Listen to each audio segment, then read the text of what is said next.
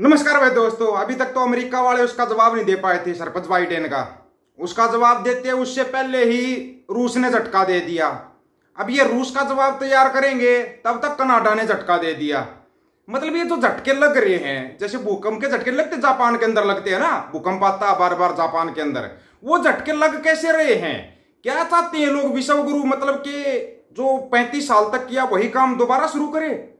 सबको पता पैंतीस साल तक क्या किया था। हम नहीं कह रहे, ये बात खुद विश्व गुरु ने बोली हुई है। हम अपनी तरफ़ से कोई बात नहीं कह रहे कि मैं पैंतीस साल तक भीख मांग के खाया।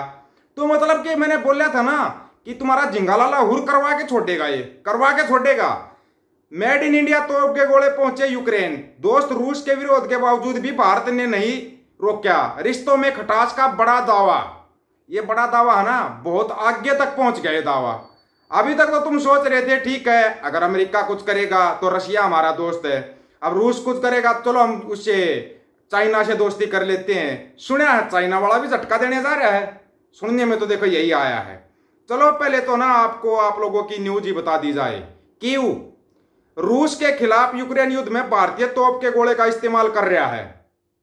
भारतीय हथियार निर्माताओं की ओर से इन्हें यूरोप के देशों को बेचा गया था, बाद में इन्हें यूक्रेन भेज दिया गया। राइटर ने यह खुलासा किया कि रिपोर्ट में कहा गया कि रूस के विरोध के बावजूद भारत ने व्यापार रोकने के लिए हस्तक्षेप नहीं किया।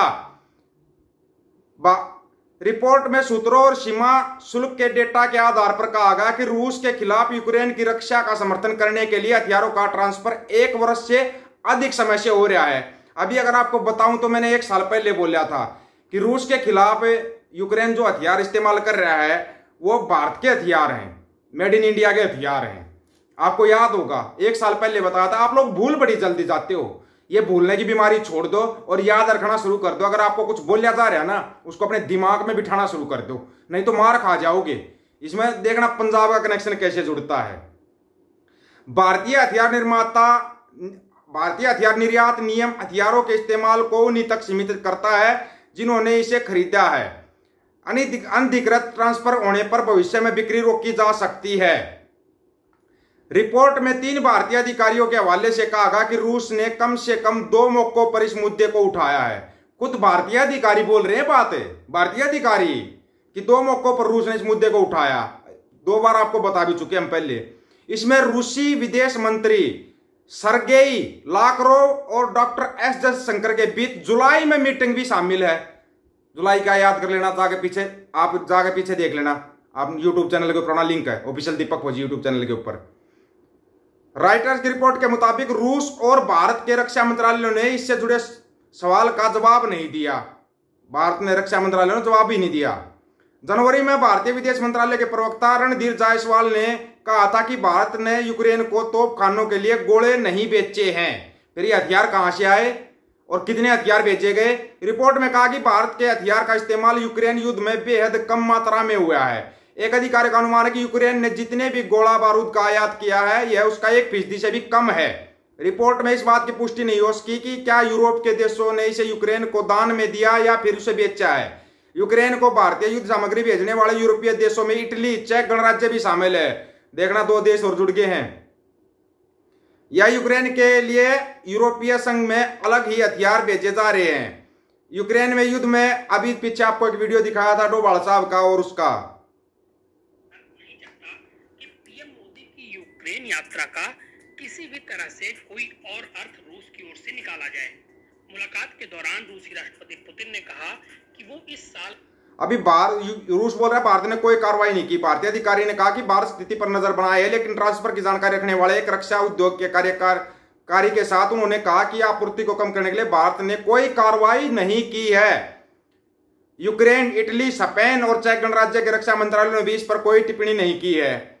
यूक्रेन को सबसे ज़्यादा समर्थन अमेरिका देता है। हाल ही में अमेरिका और भारत का रक्षा सहयोग बढ़ा है। इसके अलावा भारत का रूस से भी अच्छा संबंध है, जो उसके हथियारों का प्रमुख सप्लायर है।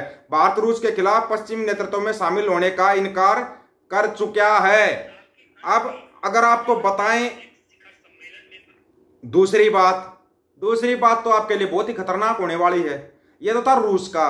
रूस ने बोल दिया कि हाँ इसकी रिपोर्ट देना एक बार, अब लगता है दोबारा फिर जाना पड़ेगा। अपने फेंकू साहब को भी जाना पड़ेगा और ज़ीरो ज़ीरो सेवन को भी जाना पड़ेगा। नकली वाले ज़ीरो ज़ीरो सेवन है।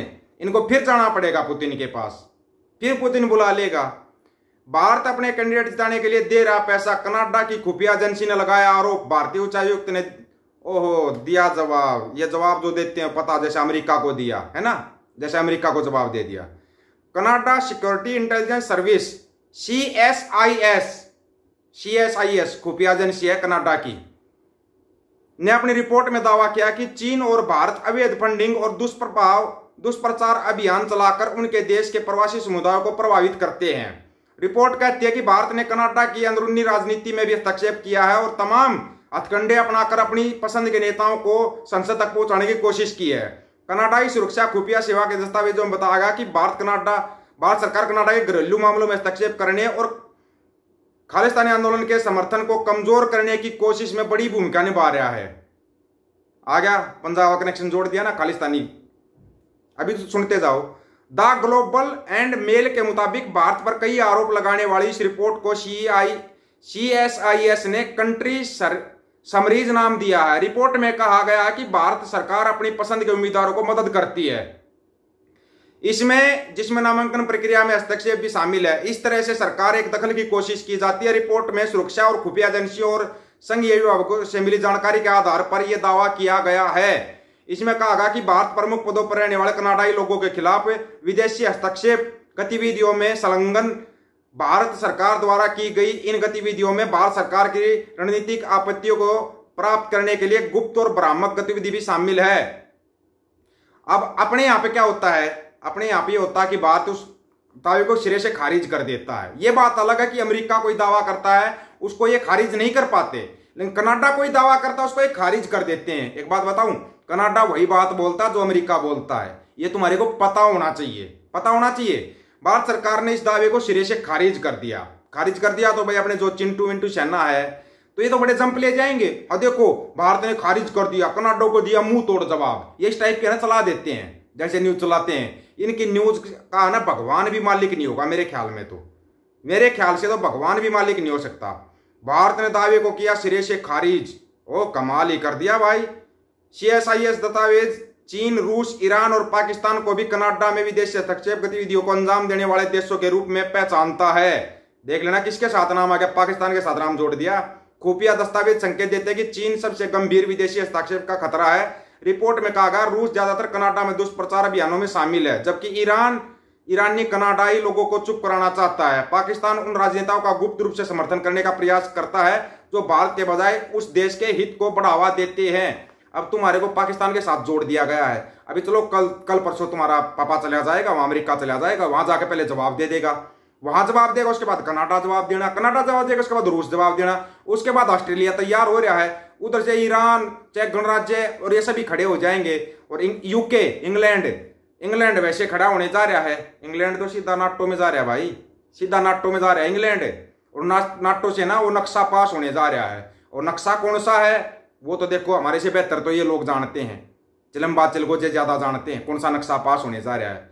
हम सिर्फ़ इतना ही कहेंगे, मुबारक हो खालसा जी। आप लोगों की क्या राय इसके बारे में अपनी राय रखना दोस्तों, आपकी राय का इंतज़ार रहेगा। सभी साथियों को राम राम, नमस्कार, आदाब, सत श्री अकाल। वीडियो को ज़्यादा से ज़्यादा शेयर, चैनल को सब्सक्राइब और बेल आइकन को ज़रूर दबाना दोस्तों। ऑफिशियल दीपक फौजी यूट्यूब चैनल।